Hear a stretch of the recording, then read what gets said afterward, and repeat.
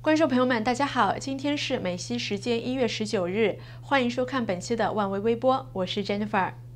美国总统川普一月十九日星期六再次对美中两国达成贸易协议表示乐观，称美国同中国的贸易协议谈判正在取得进展，但在另一方面否认他正在考虑解除对中国产品加征的关税。不过，路透社近日的报道却指出，美国贸易战的深度与诉求目标已非签署传统的双边贸易协定，反而更像是寻求彻底制裁中国。据知情人士透露，在贸易战谈判进行的同时，川普政府正施压中国同意将定期审查列入协议中。美国将以此条款定期检查中国是否有确实改革了强迫技术转让、盗窃商业机密等核心议题，而这就是美国不是追求双边贸易协定的关键。路透社还指出，川普大征关税、强硬要求中国改变的做法，更像是美国早已对俄国、伊朗等国实施的金融制裁。这类制裁皆需等到美国财政部确认受制裁国家改变行为后才会取消。川普政府将发布行政命令，禁止中国电信公司在美国销售产品的传闻甚嚣尘上。路透社去年十二月就报道，川普政府已列出十四家中国电子大厂的管制名单，被业界称为是“死亡笔记本”，但这项名单至今未正式对外公布。彭博近日又报道说，川普政府准备发布行政命令，严格限制中国国营电信公司在美营运，不排除比照去年对付中信通讯的做法，以断华为后路。彭博报道还说，目前行政命令尚未呈交给总统，命令内容不会直接点名华为等公司，也不会直接禁止他们在美销售产品。但其中一名消息人士说，命令将赋予商务部更大权限，检视与包括中国在内对手国有关企业的产品和采购。曾任职于兰德公司的中国军事问题专家毛文杰说：“川普政府可能将在未来几周发布严重伤害华为的行政命令，恐让华为难以营运。一些美国企业正为此预做准备。”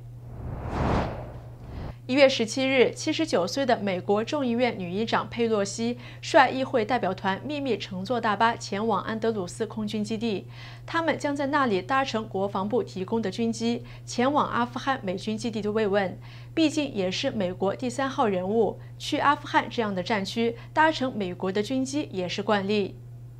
当代表团到达安德鲁斯空军基地时，他们很惊讶地得知，川普刚刚发表了一份致佩洛西的信。信中这样写道：“由于联邦政府关门，我很遗憾地通知你，你的布鲁塞尔、埃及和阿富汗之行已经推迟。”当政府关门结束时，我们将重新安排这个为期七天的行程。鉴于有八十万伟大的美国工人没有领到工资，我相信你会同意推迟这次公关活动，因为这是完全恰当的。据微信公众号“浩金笔记”披露，十五日下午，现任陕西省副省长陈国强被调查人员从省政府大院带走。当晚，赵正勇落马消息公布，现年五十七岁的陈国强是赵正勇的安徽同乡，曾任省政府副秘书长。在赵正永担任省长、省委书记期间，陈国强担任省政府秘书长，去年升为副省长，分管省国土资源、环境保护、住房和城乡建设、交通。根据陕西政府公众信息网的消息，十四日，陈国强还曾去调研过宝鸡过境高速公路通车情况，但此后未再公开露面。陕西官场地震仍然在继续。现任陕西省委书记胡和平在周五出席全省纪委会议中，点名提出了四大省部级反面。他们包括官宣其涉嫌严重违纪违法、正接受纪律审查和监察调查的陕西省原书记赵正永，在2018年一审被判无期的陕西省原常委、西安市委原书记魏明洲，正在等待其被指受贿案一审判决的陕西省原副省长冯新柱，现已官宣落马的陕西省委原常委、省委原秘书长钱颖安。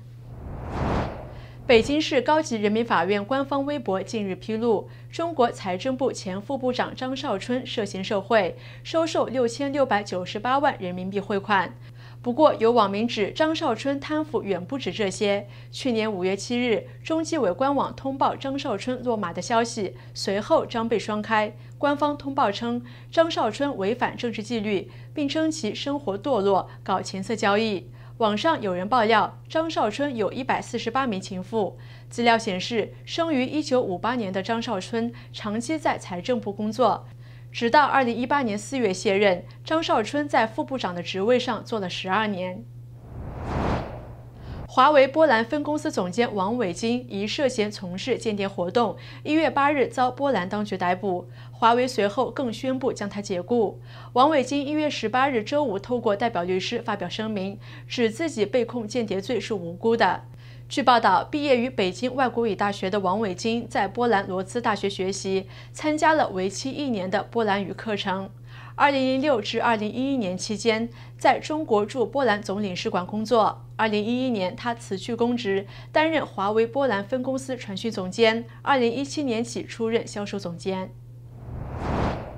中国大使卢沙野警告加拿大不要禁止华为 5G 后，加拿大公共安全部长在渥太华作出回应，称加拿大不会在安全方面妥协。加拿大联邦公共安全部长古德尔周五在魁省出席内阁会议时接受记者提问。古德尔部长说：“当澳大利亚审核华为在其通讯网络中扮演的角色时，中国也曾威胁过澳大利亚。”他说：“我们理解过程中会有些言论，但是我们会基于加拿大的利益做出判断，不会被吓到。”古德尔没有说明加拿大预期何时完成 5G 审核，但他说：“我们不会在国家安全上妥协。”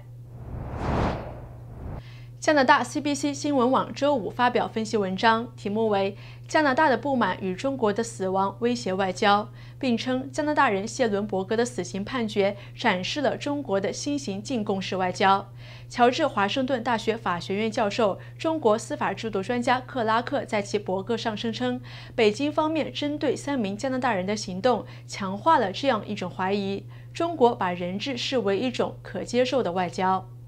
中国官媒《环球时报》发表社评称，加拿大试图动员西方盟友向中国施压的行为很无理，并称没道理的舆论压力对中国轻如鸿毛。中国外交部发言人华春莹也反驳加拿大总理就谢伦伯格死刑判决是中国任意执法的言论，称杜鲁多的言论不负责任、贻笑大方。这种针对中国通常视为友好国家领导人的个人攻击非常不寻常。加拿大前驻中国大使赵扑指出，这清楚表明了我所称作的一种新形式中国。他称，这个中国更加自信和咄咄逼人，在很多方面都扮演着欺凌者的角色。赵普指出，如果调动盟友帮助加拿大向中国施压无法奏效，加拿大政府可能不得不考虑采取其他严重的手段，包括取消中国运动员为备战2020年北京冬奥会在加拿大的训练，甚至一旦事态非常严重，召回驻中国大使或驱逐驻中国加拿大大使。据法国媒体周五报道。被中国当局以受贿指控拘押在中国的前国际刑警组织主席孟宏伟的妻子格雷斯孟向法国寻求庇护。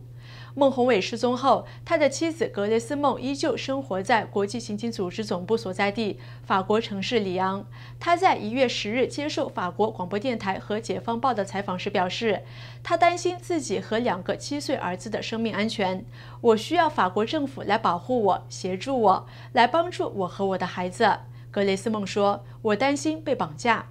格雷斯梦告诉法国媒体，去年十月初，在她的丈夫被捕的消息公布之前，曾有两名中国商人去过她家，向经济学家出身的她咨询投资建议，并邀请她乘坐私人飞机前往捷克，但遭到了她的拒绝。他认为这是绑架企图，此后便向法国警方寻求了保护。